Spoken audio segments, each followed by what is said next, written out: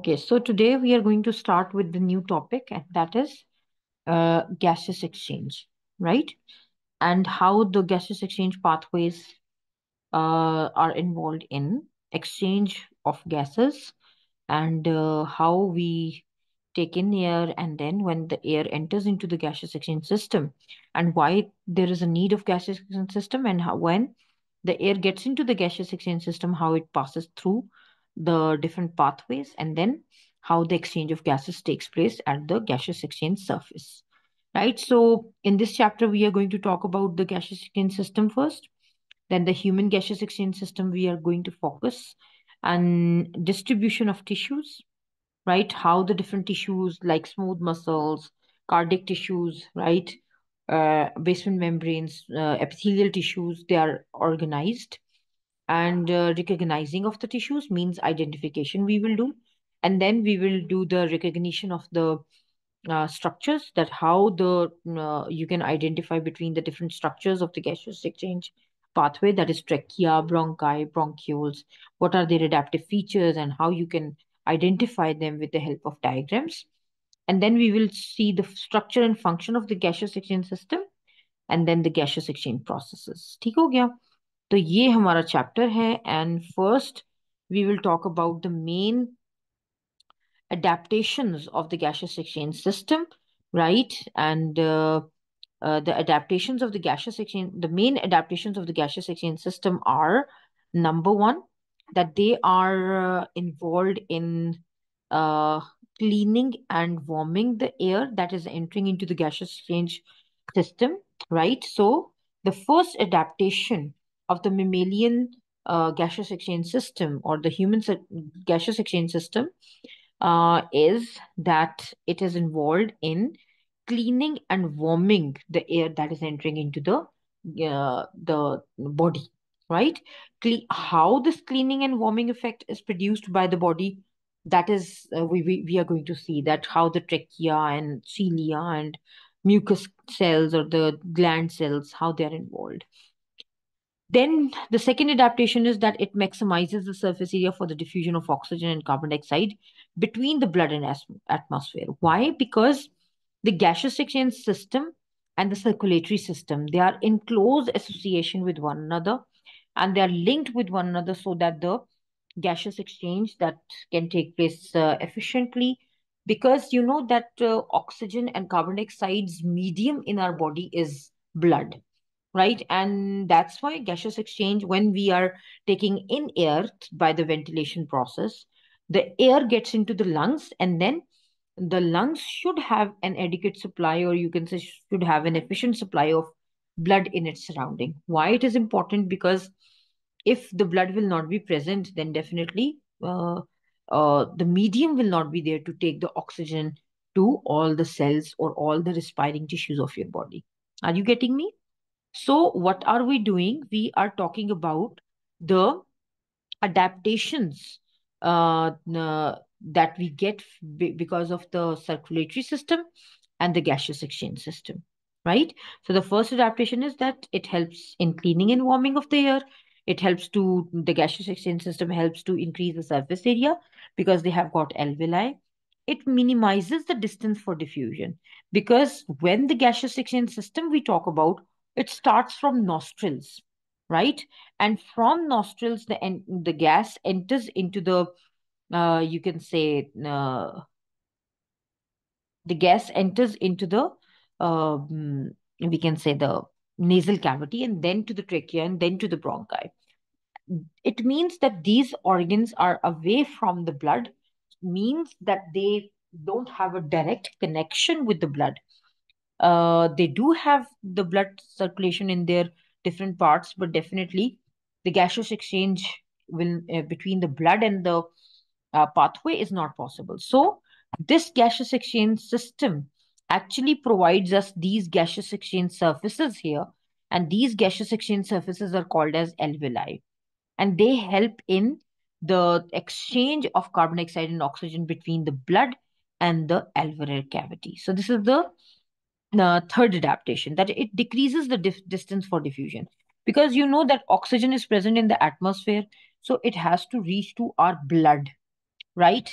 And to take it to the blood obviously this is not possible that the air penetrates into the blood or from the external so from the external environment right? So uh, this gaseous exchange system actually help us to uh, you can say reduce the distance for diffusion between the blood and the atmosphere obviously आप देखो यहाँ से gaseous exchange ये जो system है that is basically taking the air in and taking it to the gaseous exchange surface that is alveoli right so this is how the gaseous exchange system is decreasing the distance for diffusion between the blood and the uh, gaseous exchange pathway the fourth adaptation is that it maintains the gradient for diffusion what does it mean The ventilation process is taking place continuously number one number two the blood that is entering into the uh, alveolar surrounding is deoxygenated blood, right? And that is being supplied by the pulmonary artery. And after its oxygenation, the blood is brought back to the uh, heart, right, through pulmonary veins. So this means that the continuous flow of blood is there. Pulmonary artery is bringing blood near to the alveolar lining, right? This one. And uh, pulmonary vein taking it back to the heart, right? It is taking it back and it is taking it in. And the ventilation process, that is inhalation, right? And exhalation, right? Exhalation. That is continuously being, uh, uh, you can say, ventilating or creating a gradient between the blood and the alveolar cavity where the, where the air is present, right? So this is, these are the adaptations four adaptations of the gaseous exchange system and circulatory system so that it can help in the gaseous exchange between the body and the blood. Actual gases exchange तो आपको पता है blood और alveolar cavity के दरमियान में होता है ना तो उसके लिए गैसेस एक्सचेंज सिस्टम जो है ये सारी एडेप्टेशंस रखता है जिसके through gaseous exchange is possible right? And why this gaseous exchange is important? Because you know that the gaseous exchange will provide oxygen to the respiring tissue so that they can do aerobic respiration right? So multicellular organisms that have got deep tissues in their body they have got very less surface area. So that's why these alveoli or the gaseous exchange surfaces basically kya karti hain reduce करती हैं distance for diffusion को increase करती हैं surface area को so that the you know, cells can be provided with oxygen and carbon oxygen and carbon dioxide can be diffused out from the body, right? So in humans, the gaseous exchange surface uh, needs to be very thin, ताकि distance for diffusion come right? And um, that gaseous exchange system surface is basically alveoli. because singular is alveolus and plural is alveoli, and they're present inside the lungs, right? Now let's have a look that where they are present, right? Let's suppose this is the gaseous exchange pathway. Obviously, it starts from nostrils, right? Like here you can see the whole diagram, right? That is showing you the pathway that the nostrils say nasal cavity and then from nasal cavity, it enters into the trachea and you can see that the trachea has got C-shaped cartilaginous rings here. And uh, uh, here you can also see that uh, trachea further splits into two tube-like structures, right? Each structure or each tube is entering it into its side lung, right? And they are called as bronchus. Singular is bronchus and plural is bronchi. And they're called as bronchi. And each bronchus of its side, when enters into the lung, आप यहाँ क्या देख रहे हो? That they are further splitting into smaller tube-like structures. अब देखो सबसे जो broad tube-like structure है वो trachea है.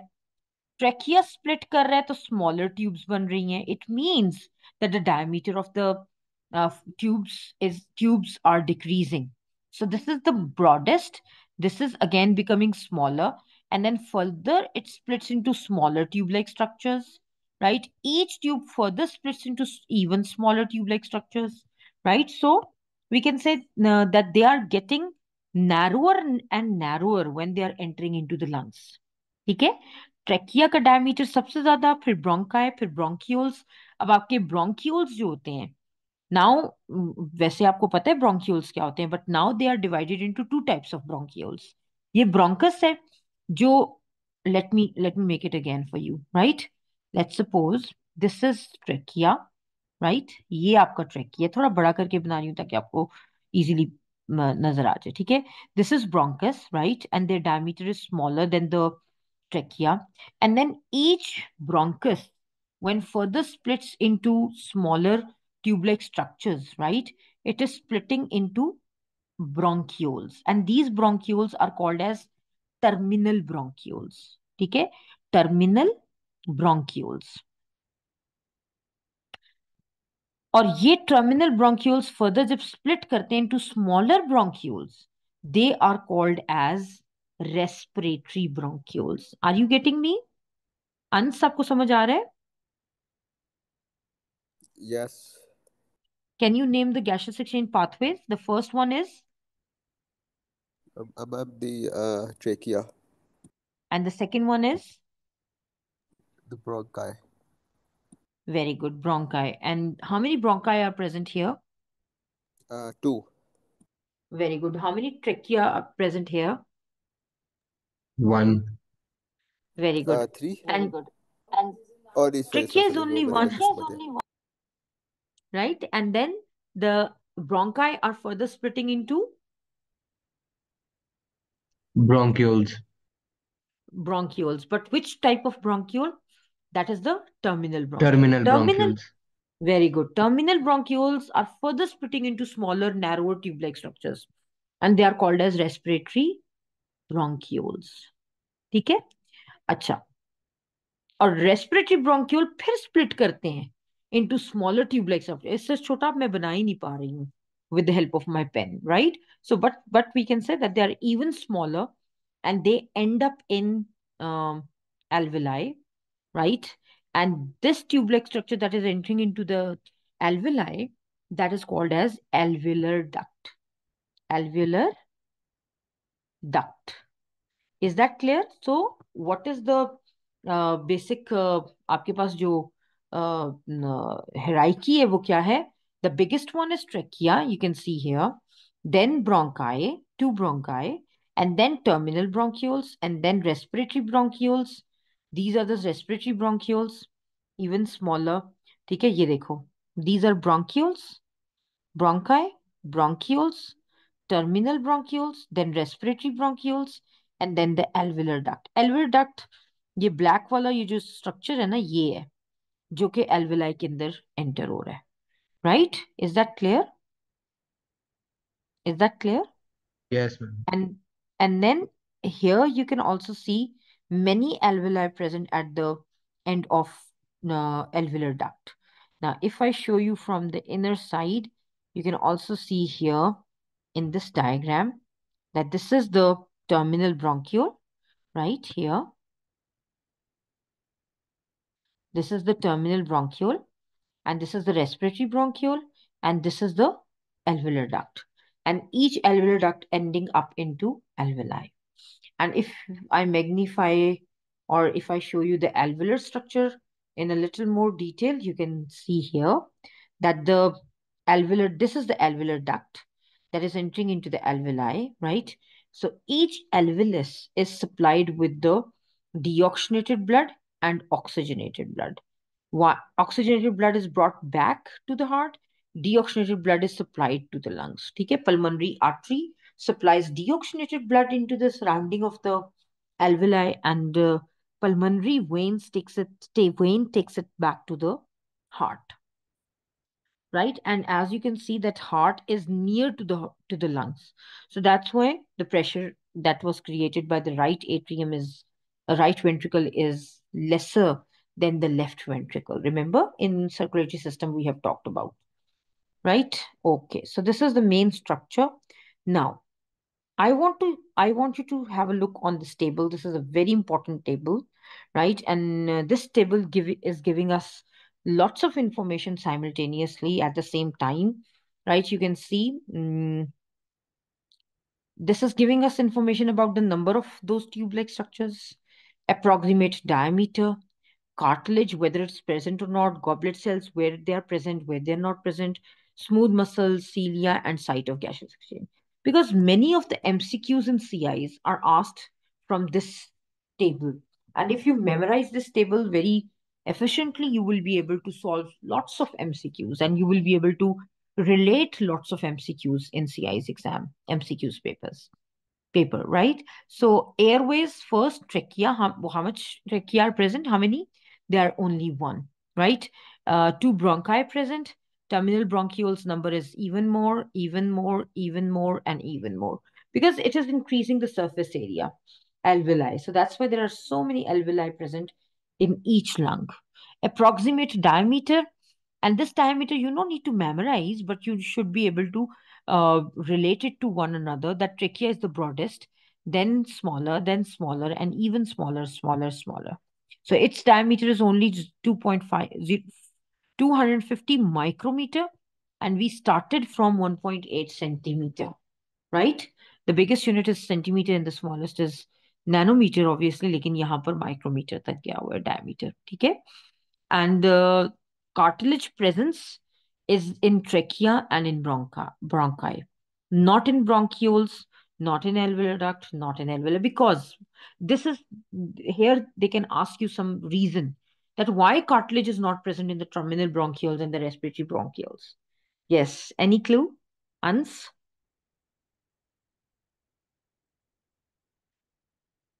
Ans, any clue? Why the cartilage is not present in the uh, terminal bronchioles, respiratory bronchioles, alveolar duct, and alveoli? And alveoli.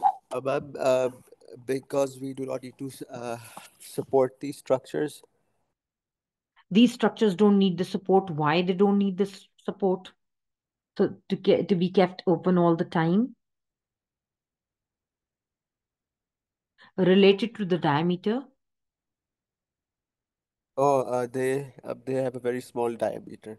Yes, because they have got so small diameter that they don't need to be mm, uh, kept open. The air passage is actually con uh, open, uh, keeping them open all the time because the ventilation is taking place continuously, right? So that's why the cartilage is not necessary in in uh, bronchioles and alveolar duct and alveoli. Goblet cells, goblet cells are present in uh, what are goblet cells first of all? Ans, what are goblet cells? Uh, ma'am, they are cells which basically um, uh, emit mucus. Very good. They make mucus by exocytosis, by protein synthesis, and then uh, they release mucin out. Right? The detail uh, will we will study inshallah in our next class. But the goblet cells are basically uh, helps in production of the mucin protein. Mucin protein is the uh, as it's a protein, so it must be formed by the process of protein synthesis, and then they are removed out of the cell from goblet cells, right? Uh, uh, and through process of exocytosis. And uh, this these goblet cells are not present in the terminal bronchioles, respiratory bronchioles, alveolar duct, and alveoli. Why? Why they aren't present?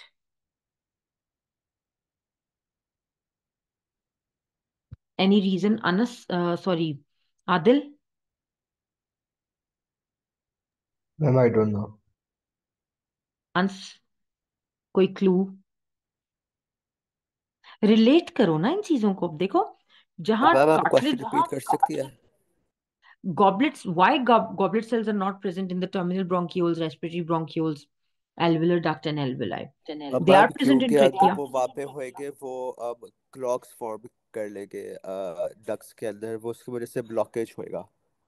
Very good that the terminal bronchioles and respiratory bronchioles diameter is so small that if they they will be goblet cells they will produce mucus and if mucus will get stuck there obviously it's a sticky material और वो वहां stuck हो जाएगा और gaseous exchange possible नहीं होगा pathway block हो जाएगा or you can say there will be less air that is getting into the lungs or into the alveoli right there will be very little air that will somehow bypass or somehow leak out from the mucus and then reach to the alveoli okay so that's why adil uh, did you get it Yes ma'am okay smooth muscles क्या होते हैं? Anyone what are smooth muscles where you have studied smooth muscle first and what they were doing there Adil protein synthesis smooth muscles बेटे कहाँ पड़े हैं? किस structure में पड़े हैं? Ma'am blood very good what they doing there in the blood vessels blood vessels में क्या रोल प्ले करते थे help in the movement of blood hmm very nice जनाब do you think so think over it once more अंस आप बताएं do you have any idea do you have any clue आप question फिर से repeat कर सकती है what what the what was the function of smooth muscles in the arteries and veins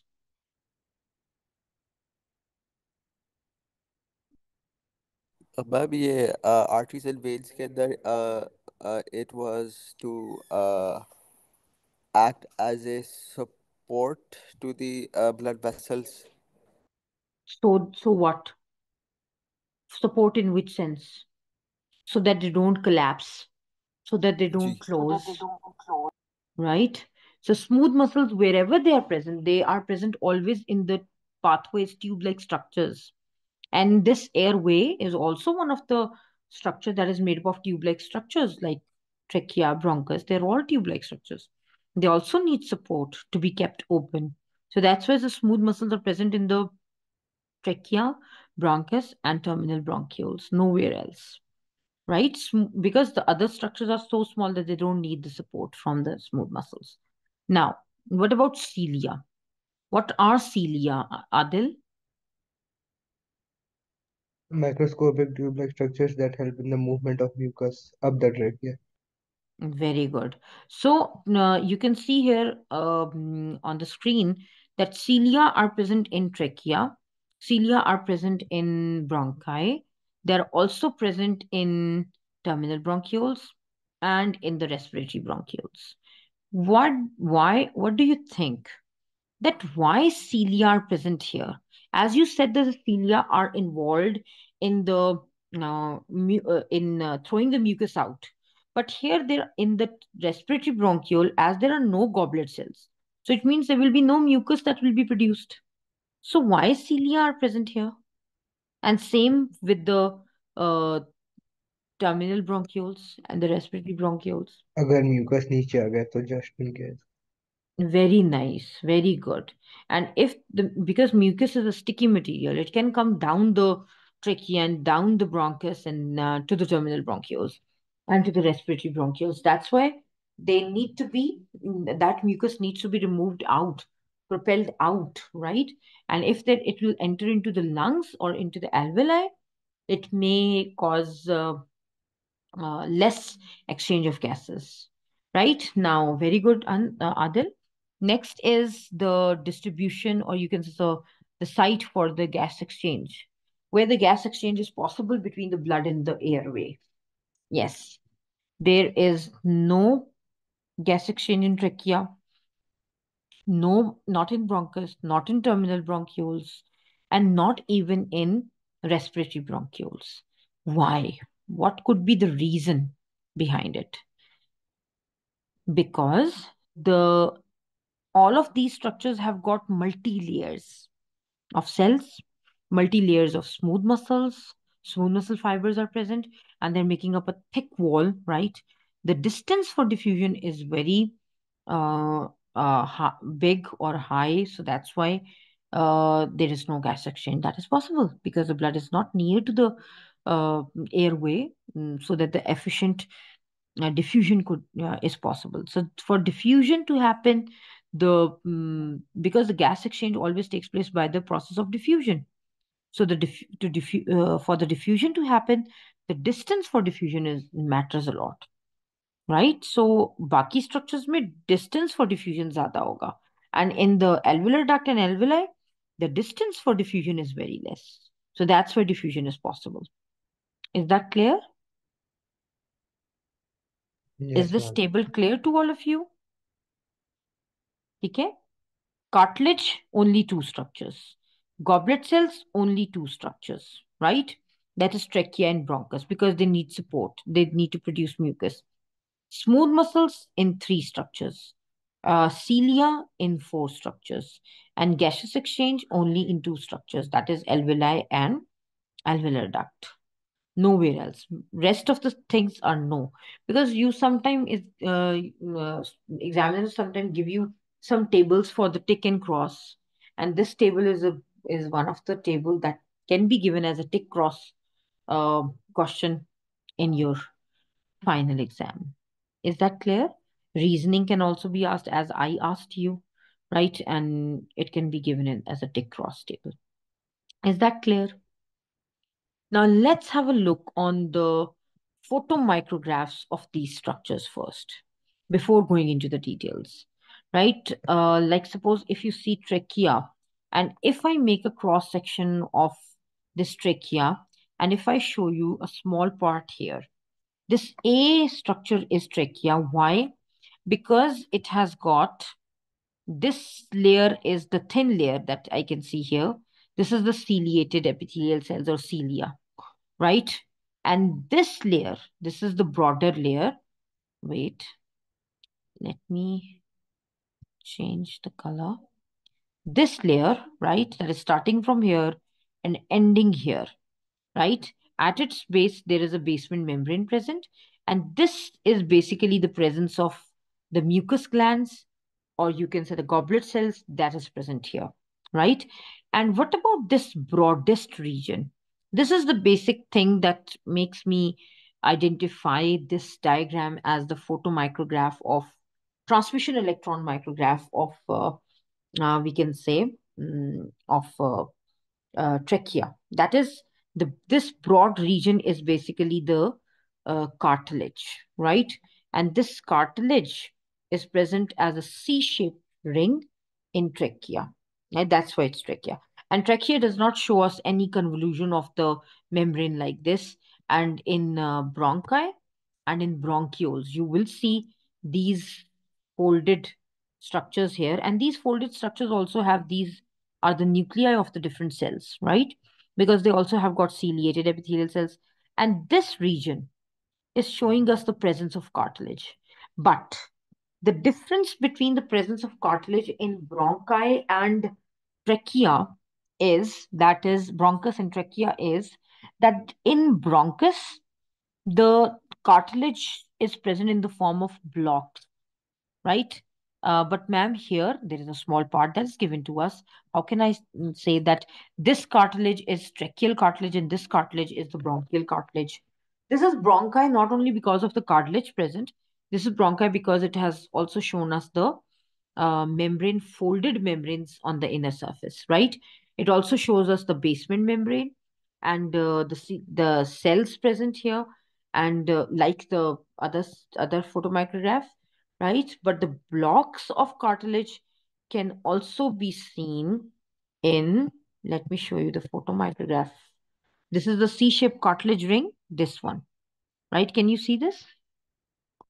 Right? Yes. This shows that this dark band, right? This is a C-shaped cartilage ring.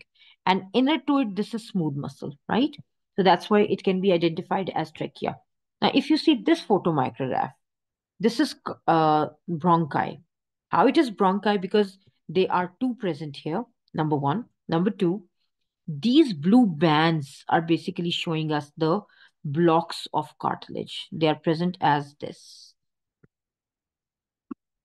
Right? Ye ek block, this is another block, this is another block, this is another block, this is another block, this is another block. They can overlap, right?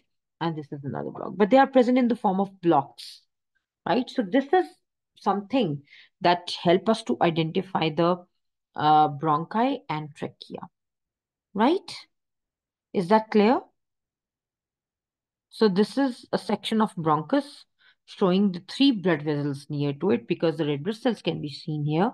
One, two, and three, right? And uh, the rest of the uh, structure is bronchi because they have the blocks of cartilage in it, right? So this is how you can identify it. Now the third one that has got even more convolutions and there are there is no cartilage present here in its surrounding. Then ma'am, what are these structures? This is the basement membrane, right? And this is the uh, convoluted membrane that is present in as the bronchioles, right? And these are the terminal bronchioles. And they're in, they're uh, closely present with the, you can say the alveolar cavities. These are the alveolar cavities or the air sacs. And these are the identifying features that can tell us that this is a bronchiole, right? So this is a bronchiole, this is bronchus, and this is trachea. Is that clear? Any question? Ans Adil? In this uh, identification of the No, photomicrograph of trachea and bronchi and bronchioles, right? From this chapter, examiner give you the photomicrographs to identify the structures. So it's equally important, okay? Now, inshallah, in our next class, we will talk about the uh, warming and cleaning effect because now, now we are done with the identification of the trachea and bronchi and bronchioles. And now we will see that how they are adapted to perform their function and what is uh, their function. The function of the trachea and the bronchi or the cilia and the goblet cells, wherever they are present, uh, they are producing a warming and cleaning effect. Inshallah, we'll see it. Right? So, bye for now. Inshallah, we will talk about these functions in our next class.